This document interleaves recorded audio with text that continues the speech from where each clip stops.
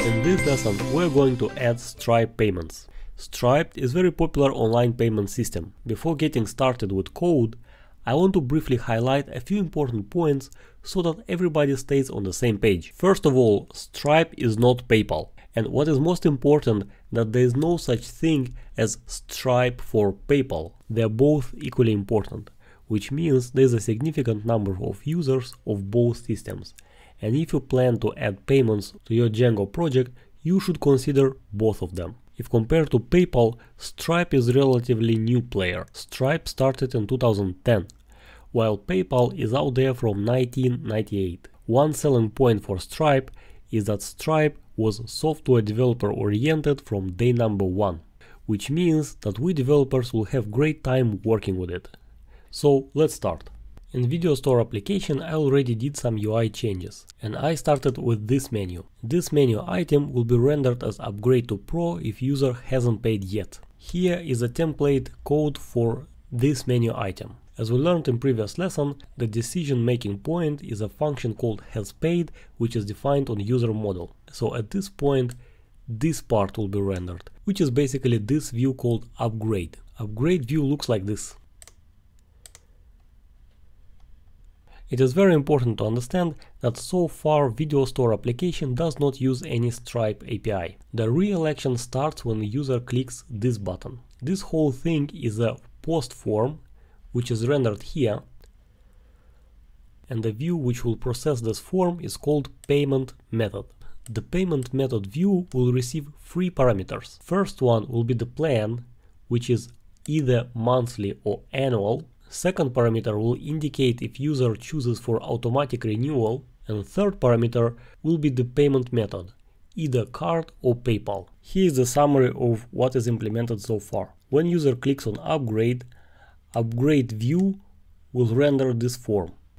In this form, user chooses a plan, a payment method, and either if he wants or no to have automatic renewal. When user clicks continue via a post request, he is redirected to this view, payment method. Payment method view receives three variables.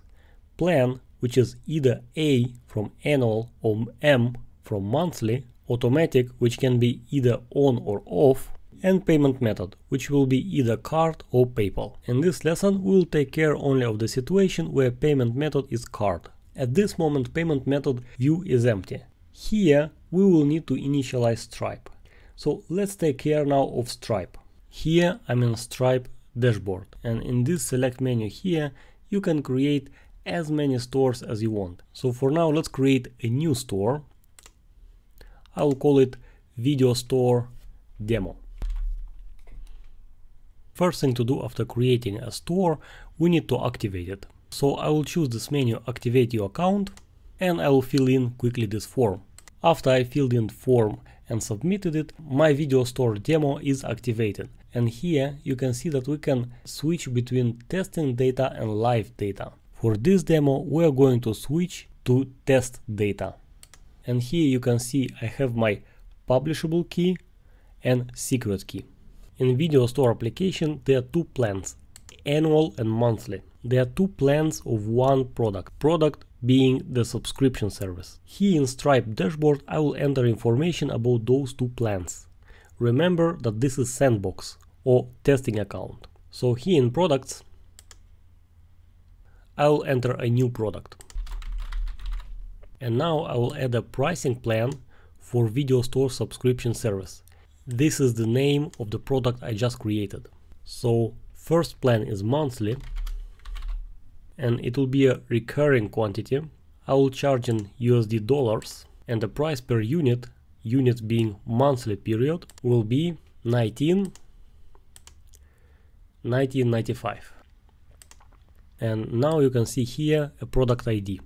We'll use this ID a little bit later in code. For now, let's add one more plan, the annual plan.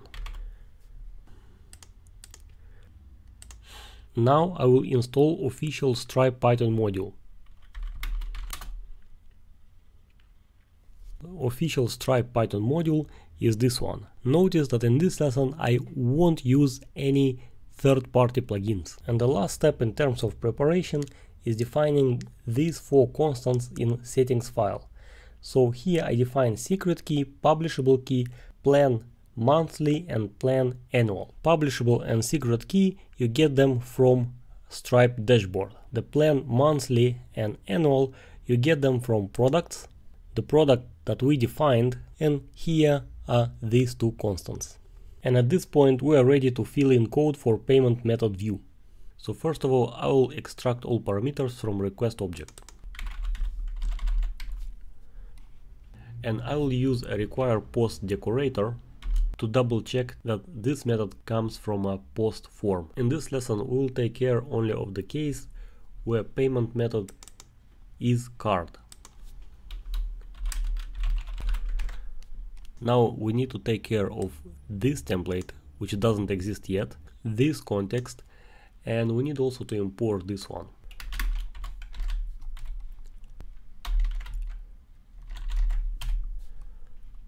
I created a class called videos plan. This class is sort of dictionary. Giving a plan as letter M or A, it will return you uh, detailed information about that plan. The definition of video plan class is really not important. We will come back to it towards the end of this screencast. What is really important is that first thing we need to instantiate a so-called payment intent object and while creating payment intent we need to specify amount and currency. Let me import Stripe. When making any Stripe API call, we need to specify API key. And I will define API key at the top of this file.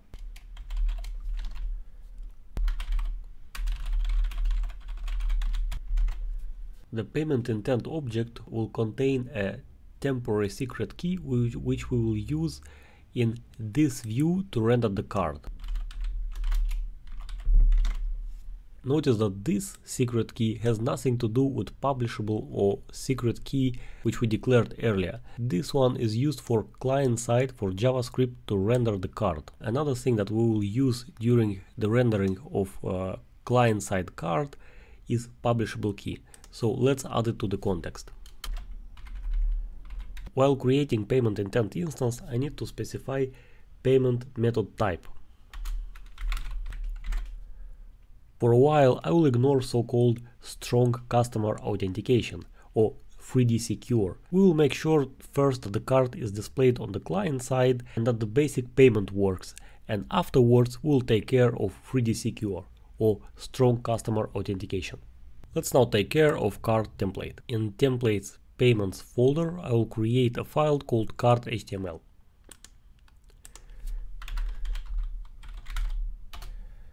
And this is the skeleton of card.html. Notice that it has an empty for now form. To render the card and perform client-side basic validation, I will use JavaScript code provided by Stripe. This is the latest version of JavaScript client provided by Stripe. And I will use this library to define this function which will take care of card rendering and validation.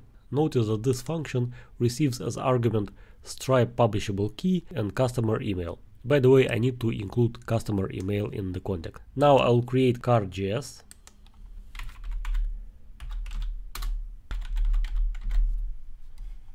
Let me first add this variable to the context so that I won't forget about it.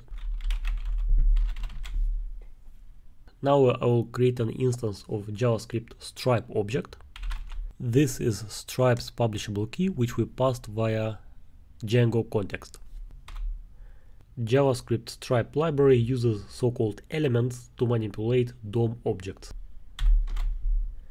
Now I will create a JavaScript object called card and style it.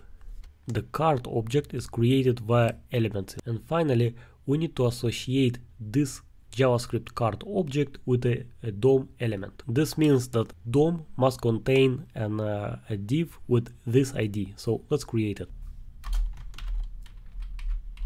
And because we're already here, let's add two more div elements, one where errors will be displayed and another one for submit button. So at this point, if user clicks continue button in upgrade view, he will see some sort of card input. Let's check if everything works so far.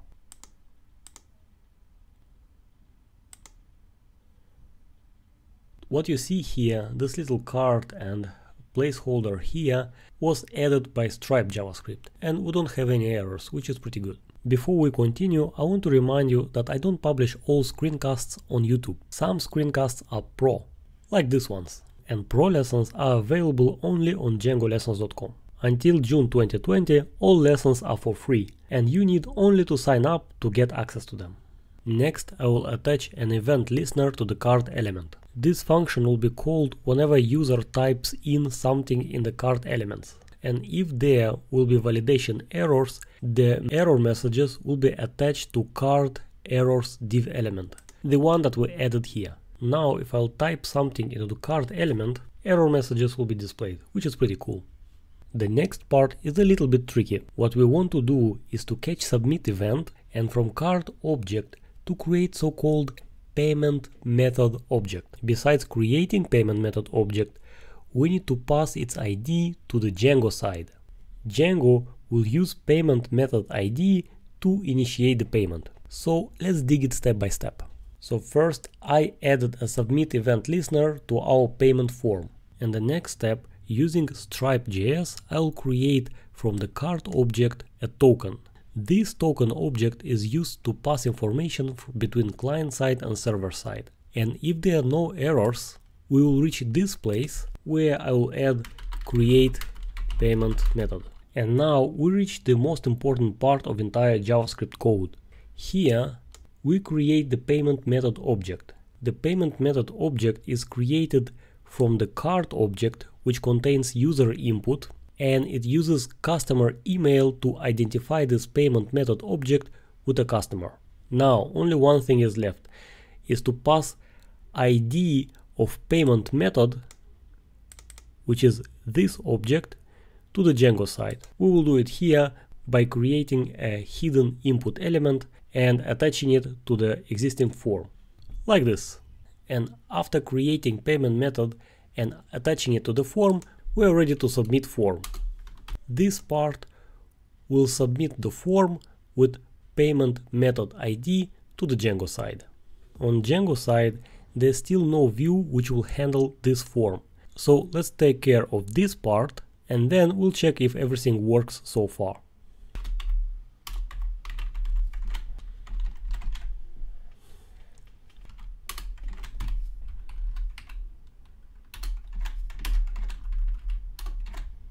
Behind the scene I tested this code and there were a couple of errors. One of them is that I need to rename this ID to something else, like for example submit button because plain submit will interfere with this code.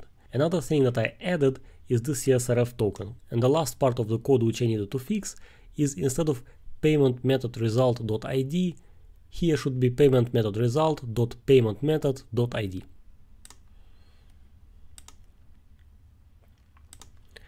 This card number is a special one and it refers to the test card and this test card is an US card.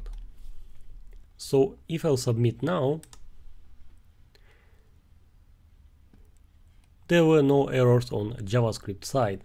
And in dashboard, you see here that a payment intent was submitted. It is still incomplete because obviously we are not done yet. Now let's have a look at this payment intents. Notice that in event and logs section, it tells very explicitly what is the problem. The payment intent requires a payment method. Set an existing payment method on a payment intent. So what I will do now, here in payment method view, I will pass to the context the payment intent ID and now in this form I can add a hidden element with the name payment intent ID and with the value of payment intent ID so that when I submit this form this payment ID together with this payment with payment method ID will be passed along to the next view, to this one here. I remind you that card view is the view that handles this form. So now when I submit a payment and we have a look at the post card request, you can see here that there are two important parameters passed. One of them is payment intent ID and another one is payment method ID. So far we only initiated the payment flow. There is no payment yet, but at this point, armed with payment method ID and payment intent ID, we are ready to submit a payment. Next lesson we will continue from this point. In the next screencast, we will learn how to submit a payment, how to create a subscription, and the most important part, we will discuss strong customer authentication. I hope you enjoyed this lesson. Thanks for watching.